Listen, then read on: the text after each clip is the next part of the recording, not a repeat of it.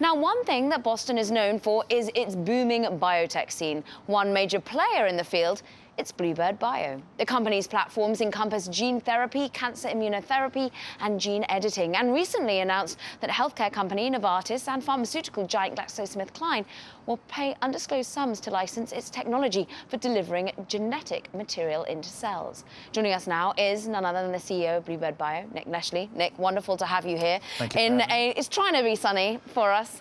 A little um, chilly. Give us, therefore, first of all, how your gene therapy, vis-a-vis -vis the competition, whether it's here in Boston or abroad, compares. So it compares. I mean, gene therapy is a broad space, right? But what it really compare on, what we try to compare on, is the data that we have and the impact it's having on patients. I mean, as a concept and the promise of gene therapy has always been, you can go in and you can fundamentally alter disease. You can potentially cure disease. And that's the big differentiator for some of the programs that we work on in some really terrible diseases, where we've been able to, and now still small numbers of patients, but we're progressing, fundamentally go from not just kind of ameliorating or an incremental benefit, but potentially curing these patients, meaning giving them a lifelong benefit. And that is converting the promise of gene therapy that I think all of us have perhaps been rooting for, certainly in the biotech space. That's what Bluebird's all about, and that's what we're trying to do. And a number of the, broadly speaking, gene therapy companies, whether it's gene editing, and there's a whole class of us that are trying to really do something important for patients. And doing it here in Boston and the greater Massachusetts, how important has the ecosystem been for you and some of your rivals or frenemies, as they might be? No, I, I, think we're all trying to do the same thing. So we try to sort of think of it as co-opetition in that sense. but Boston has been fabulous. Um, it's really developed into an ecosystem over the last, let's say, decade, where you have everything you need in the sense it starts with academia and ideas, with research and the innovation that comes with it. That moves to the medical institution, the translational nature that that brings, and the talent that that brings along with it. And then you have the investors, so venture people who really start to seed and start companies, just like Bluebird, where I was originally at a place called Third Rock Ventures to help start uh, Bluebird, uh, sort of restart it, if you will. But then you also have investors, like public investors and others, that can help carry it to the next stage. And then you have biopharma and pharmaceuticals. All we heard earlier in your show, the R&D centers are here. So you kind of have everything you need, plus all the talent, and that's the key part. So the sweet spot, maybe a perfect storm. I want to dig into two of those areas you bring up, talent being one of them, the VC side of you being the other. Talent, how much at the moment is that an area of optimism for you, or is there any concern, particularly with the current administration clamping down potentially on immigration to a certain extent? I think that's an important uh, context. So talent to try to cure disease has to come from a global uh, pool.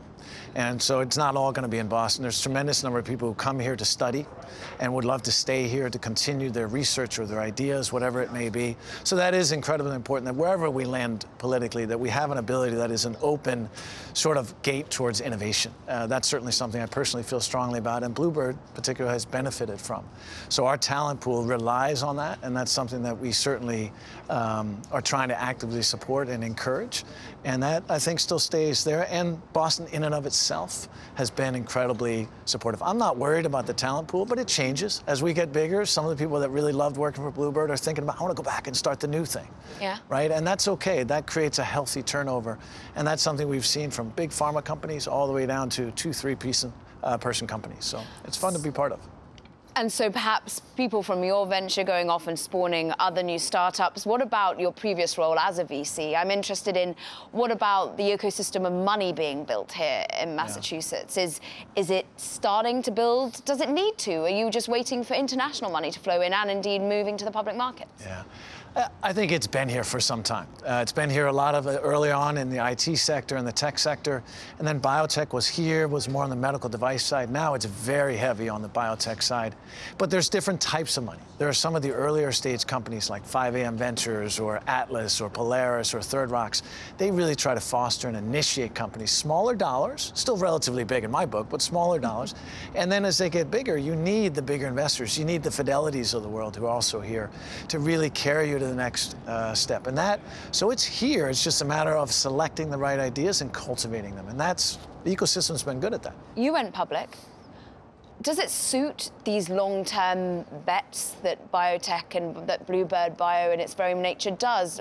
How long-term are your investors when you are on a public market such as the Nasdaq? Yeah, well, as as I know, I'm sure you know the quote. You get the investors you deserve to some extent, right? And so, if each company cultivates itself having a long-term vision, I think you can select for investors that do have the long-term nature.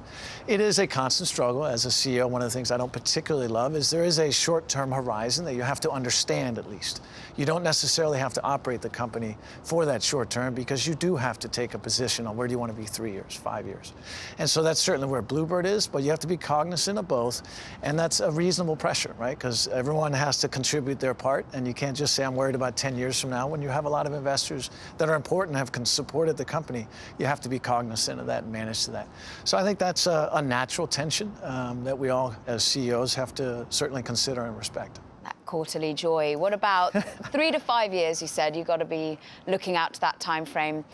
Talk to us, therefore, about the deals been struck with Novartis, with Glaxo. How does your business continue to evolve as it works on some of these rare diseases and breakthrough technologies? Yeah. You know, that's an interesting one that actually dates back to some of the innovation we talked about and some of the early stage IP in the field, in our case of gene therapy, where we use a particular type of virus that now has become part of a lot of these CAR therapies or immunotherapies that you've seen that Novartis is working on.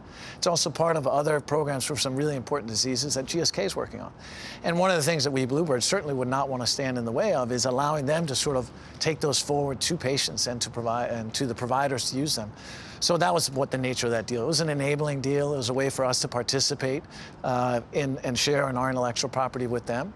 And so that's a good thing. But really, we're focused on the main driver for Bluebird is trying to do what they're doing, which is to actually to create products that make a big difference for patients. And that's our emphasis. And that ultimately is what I think our shareholders are expecting from us, and they should expect from us. And that's the standard we hold ourselves to.